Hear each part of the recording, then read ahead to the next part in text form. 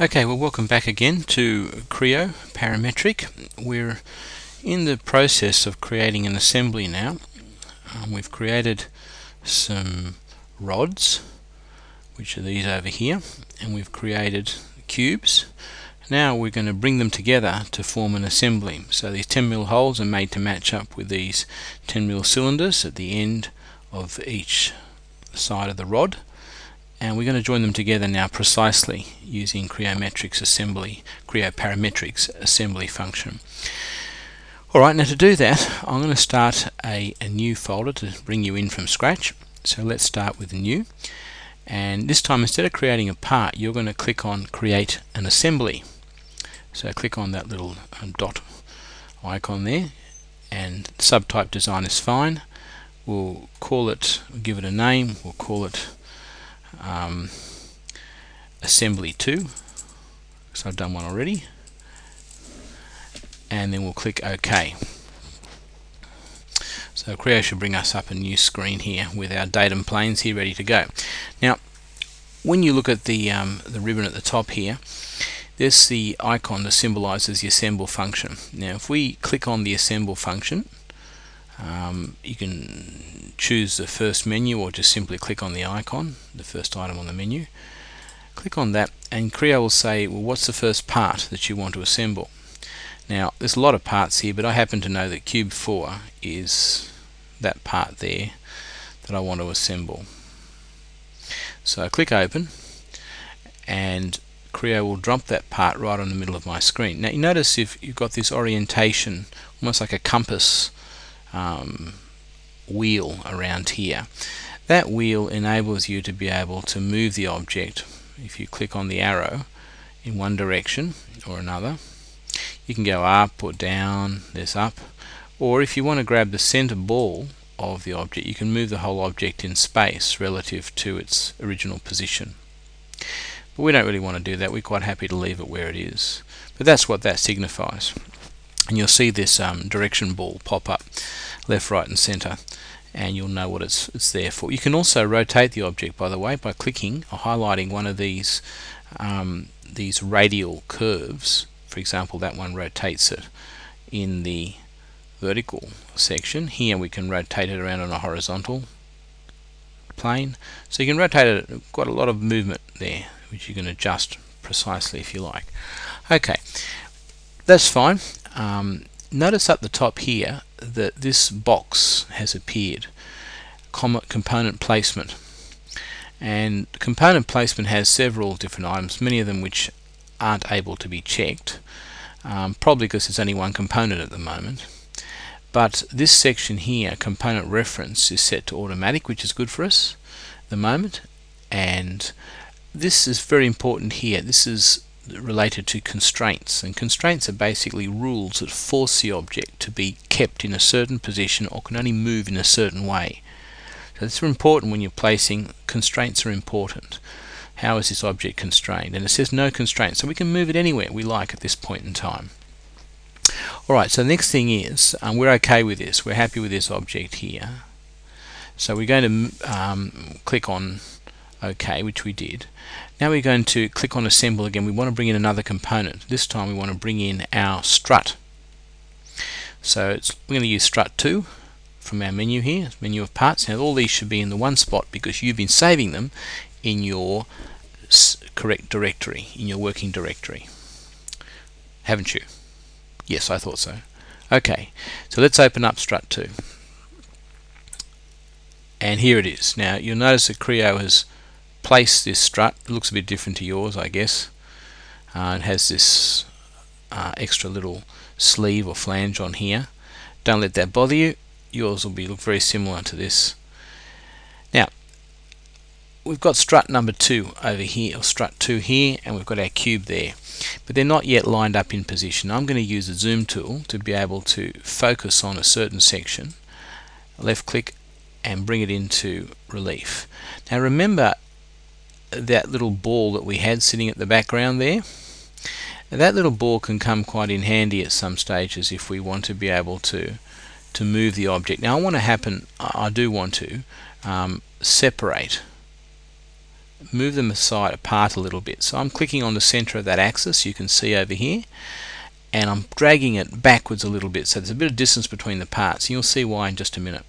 Okay, I'll bring them up a little bit closer. Once again, I'll bring them onto center screen using the zoom tool which is good and draw them a little bit closer using the rolling button in between the two mouse buttons. Okay, so next section, if you want to get rid of that zoom tool icon that's sitting there, just click your center rolling button and it will disappear. Now, I'm about to, um, I haven't yet saved this because I want to define exactly how this part is going to fit into this cube and I'm going to do it using constraints. Now constraints at the moment it says there are no constraints but I'm going to select some surfaces that are going to match up to each other. So let's say this inner surface in here. I'll try and bring it a bit more into center screen for you so you can see it a bit more clearly. Okay, this surface here. I want to match that surface up. The inner surface here is going to be matching left click to dispose of that um, zoom icon. I'm going to match this by left clicking on it and you'll notice that coming out from here is a green line. Looks a bit like a sort of a, a tendril of a spider's web. And it's attached to the surface that I've clicked. And I'm going to draw this and like a little sticky spider's web I'm going to draw it in a minute all the way across. Well I'm hoping to do that anyway. Okay well if that ever happens to you just go up here and get yourself into standard orientation and uh, you'll be able to sort of see your part again. There we go. Alright now at the moment that little sticky spider web's gone all the way off into the distance but it should still be attached when it catches up to me. Yes to my cursor. So all very good. Sticky spider web has begun on that surface. It's now attached to my, my cursor.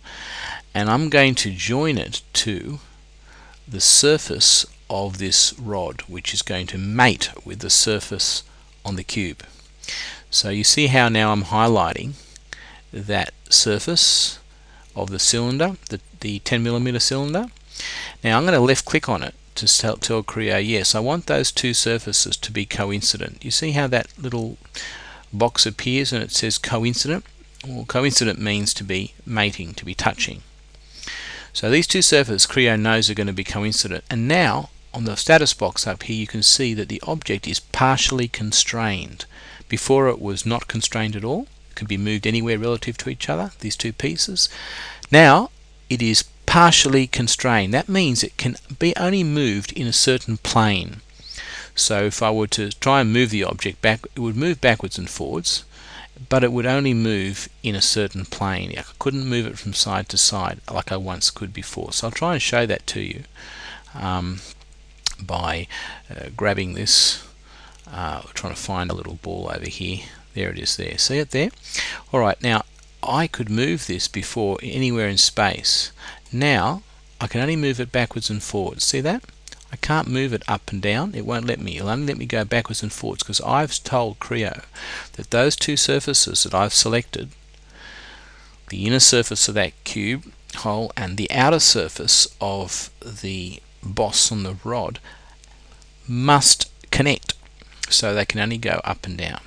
Right, the next thing we want to do is get to make it fully constrained is we're going to define another surface. So I'm going to scroll in a little bit here and I'm going to click this surface here. See I'm going to highlighting that surface there and I'm going to get my little spider's web tendril and I'm going to hold down my middle mouse button and swing this object around a little bit. Ooh, there we go. So you can see my little mouse tendril is going to touch that surface there and see how the sign comes up and says coincident just above it? That means that I want the surface on the front of the cube and the surface on that uh, face which I've highlighted here to touch. And when I touch you'll see both objects move together in exactly the right spot. So I'm left clicking, there they go. So now I've caused the object to be fully constrained. So there it is. It's now mated up against the two parts exactly the way I want it. And notice the status here, what I'm pointing to is called fully constrained. Now that I've done that, and I've got the two parts mated up just the way I want them, I can click OK. And when I click OK, Creo says, beautiful, I know exactly what you're doing. I know that's exactly where the parts and how you want those parts to be and it's happy. So there we go. So that's how you're going to join these parts together. So I want you um, to have a go at this and join uh, not just uh, one strut to one cube, but join four cubes together using struts. So you'll have to do it in different holes and move different parts in. Now to bring your next part in, let's say we wanted to bring another strut, just click on Assemble this time I'm going to bring in strut number one because I think it looks a bit more like the struts that you're used to. And another strut will appear. I believe it will at some point. Go to standard orientation. Another strut will appear. I'm waiting for it to appear. When that strut appears, you'll be able to fit it in to the next hole. It looks like my strut's gone missing at the moment. But simply bring it in, bring each item in, and then fit them together the way I've shown you over here. Okay, good luck.